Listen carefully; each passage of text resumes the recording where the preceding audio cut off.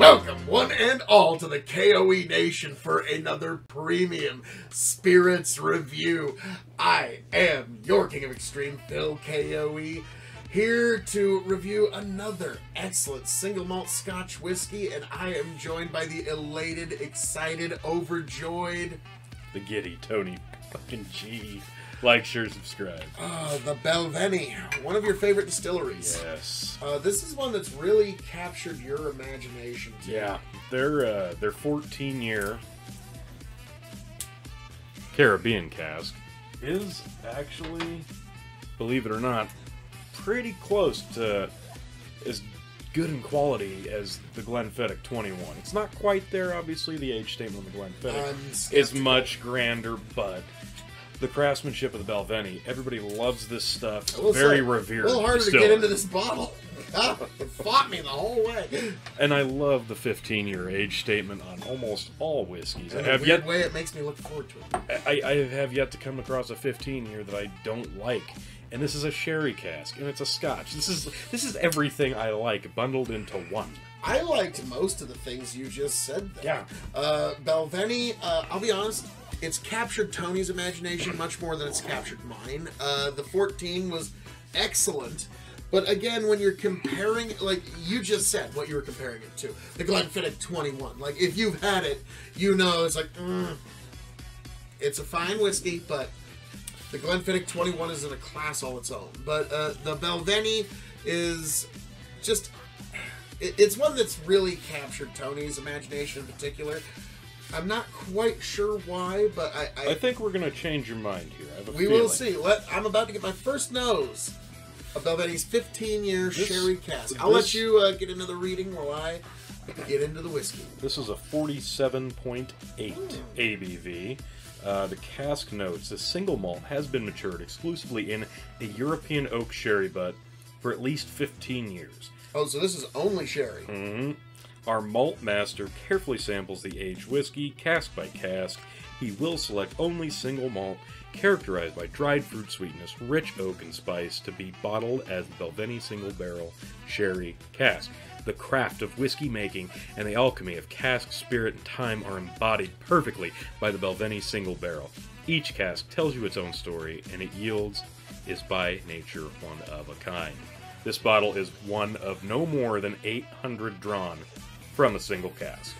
And then they do have this kind of interesting description diagram. diagram of the cask itself, uh, showing the rivets, the hoops, the the quarter hoop. It, it's actually kind of it, it makes the it makes it stand out a lot more on the shelf. Now, I've actually sure. seen it on uh, Whiskey Tribe. They got some uh, bourbon barrels from a distillery, and they took the hoops off.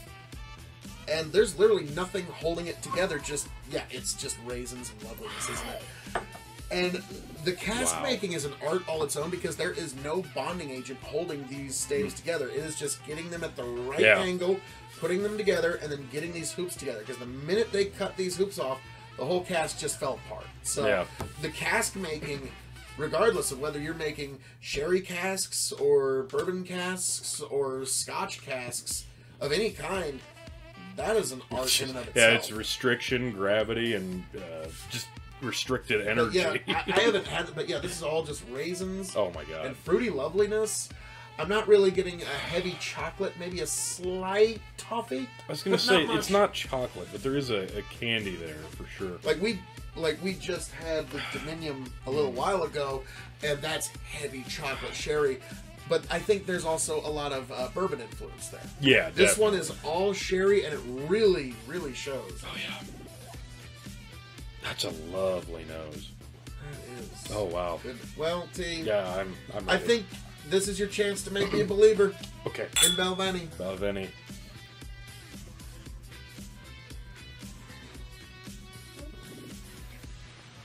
Oh, so light. Oh wow. Oh. Oh wow. Ends with a bit of spice there. Heavy sherry, spicy finish. Oh, love that finish. Wow. I'm about to say that. I bet that's right up your alley there, team. Wow. There we go. Perfect. Oh But wow. um, Oh, that's mar- There's almost a a touch of smoke. Almost.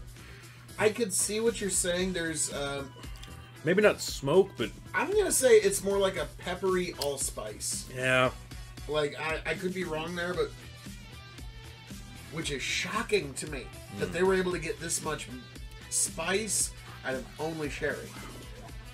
oh wow, But that raisins on the nose Mhm. really is there in the palate on the front end.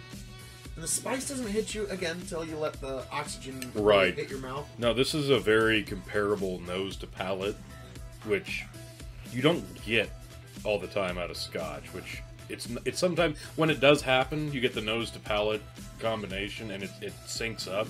It's kind of nice because this is, I mean, this is you know what you're getting from Yeah, your nose to your uh, palate. I, I can't say I'm uh, disagreeing with this too much. It's just the nose did not prepare me for the spice. Mm-mm, mm-mm. Now I'm guessing, T. I know your palate. This is right up your alley. You're Yeah. more than a little happy. with Oh yeah, this. no, I'm loving this. I, this is this is marvelous. I love sherry casking and scotch, and this is this is beautiful. And the fact that it's got that spice kick at the end Yeah. really probably. Now to me, I could do without. It's not the not a big deal for me, but this is some good stuff. I gotta say, out of what I've had from Balvenie, other than their 17 double wood, which was actually ascendant. Uh, That yeah, that's amazing. I think it would be fair to say that Balvenie's kind of like Maker's Mark for me, where if you get past their base offerings, anything beyond that really is good stuff that's worth your while.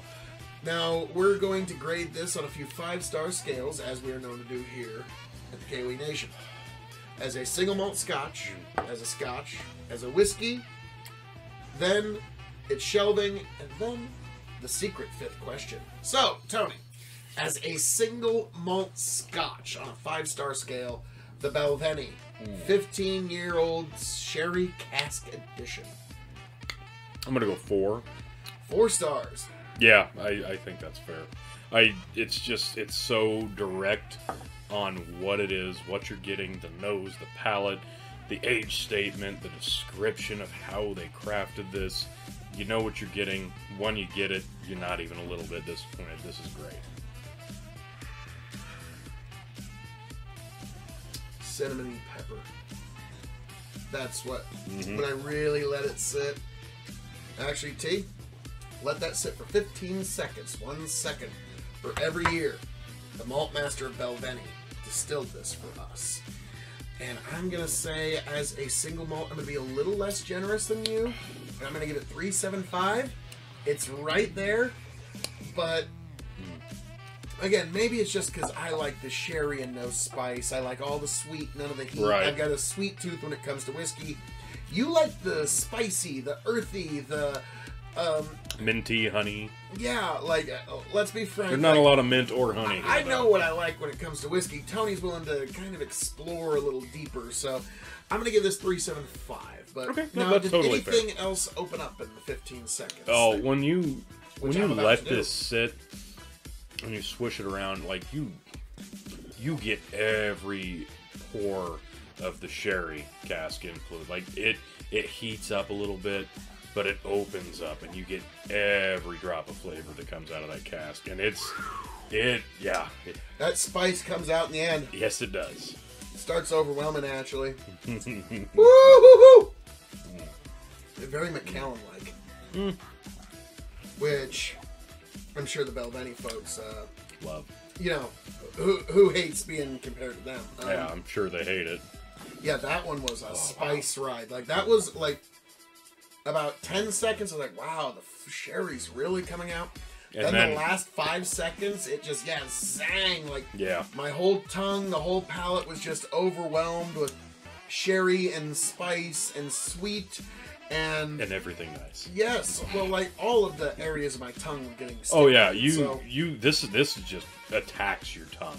Not like in an intrusive way, but it more of a playful. I'm going to tackle you, and I'm going to make I'm you actually live. going to revise after having done the 15 second, and I'm going to go from a 375 to a four star Scotch, Okay, just based off of the 15 second uh, there you go. palating there, because there's some folks out there that if you like that kind of intense flavor experience, it's almost more than you can handle.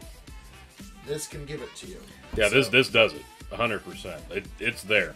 This this this feels on your tongue if you give it the chance what a lot of those hot bourbons do in terms of making your palate pop. Very interesting stuff. Actually got me to revise my score. That's very right. Now, as a Scotch, a little bit broader world. I'll, I'll go 3.75 as a scotch because this is very exclusive as far as the palate goes. Like, if you don't like sherry cask, you're not gonna like this. If you don't like some spice, you're not gonna like this. I love it. I think the Love it. spice is going to be the more divisive part of this. Yes. You're either going to love or hate it because of its spice. I love the sweet on the front, the raisiny goodness on the nose and on the palate, marvelous. The spice on the back, I like it, but I know some people won't, and that's why I'm giving it three and a half stars as a Scotch. So it's because again, you're broadening the world here a little bit. Now, as a whiskey, this is a very broad world now.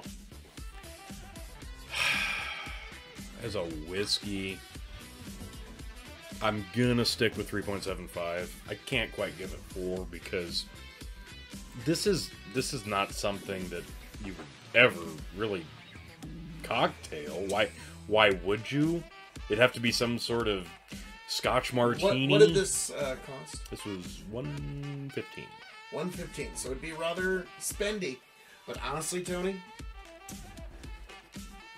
i think this would make an amazing scotch and soda. Like i think this would be like that spice on the end Uh, with the bubbly soda water would just i know i know you to you would be a waste. I think but for to me, me, it would be like oh if you were gonna like try to make the most quintessential over the top scotch and soda for me, this would be more of a. This would be But really. that's also why I'm giving it 375, is because I think it would be. So I'm agreeing with your score there, but I'm being a little more generous to my estimation because this would make such a good scotch and I think this would be, be great on the ice, uh, in a Yeah, on the rocks. yeah on the rocks. I wonder if it would cut the sweet or the heat. I'm curious. I'm guessing it would cut the sweet. I think the spice would still be there. Yep, so you'd probably love the rocks then. That'd be good. Uh, yeah, sweet whiskeys can come and go for Tony. But, um, oh boy. Now, in terms of shelving, Oh, this is a top shelf for me. I love it. I like the distillery. I like the age statement, and it's a sherry cask. This is great. Uh, to me, it'd be top to middle. Um, it, I, I like it, but like I said, I am not nearly as enamored with this distillery as Tony is. It's it has to prove itself to me. It's already proven itself to Tony, and this was one where it got a lot closer to doing so. Now again, it's 17 year, amazing stuff. If you can find a bottle of it 17, uh, goodness gracious. Oh, if you see the it. sampler pack, pick up the sampler pack. That was amazing. That, that that's what actually kind of got me into the Yeah. Distillery. Was hey, check out this uh, sampler pack, Yep. and somebody just gifted you a bottle of uh, The 14, yeah. and so Yeah. we've uh, been exploring it ever since. So here is the secret fifth question, folks. Tony, hundred and twenty dollars. When this bottle runs empty, will you replace it and seek another one? I'm I'm tempted to say yes, but I also do want to go up and down the rest of their line just because we've only done the 12, the 14, and the 17, and now the 15. There's a few other expressions that they make that are very different from this. So they've got a bit of a wide range of flavors that I'd also want to try as well. Uh, for me personally, it's going to be rather hard for you to hear this, but my answer would be no. I would not seek out a bottle of this because I know that my indomitable broadcast partner over here will usually probably have one in stock uh, or something along that line. So I'm going to say an excellent Scotch whiskey and one that I think is right up your like. This would be a great gift. I could see this as a great gift whiskey, but other than that, folks, as I'm known to say around here. All that being said, this has been our review of the Balvenie 15 year single malt scotch. I am devilishly handsome outlaw himself, your king of extreme, Lord Phil, signing off and handing it off to my indomitable broadcast partner, the one, the only, The Blend Master, Tony G. Like, share, subscribe.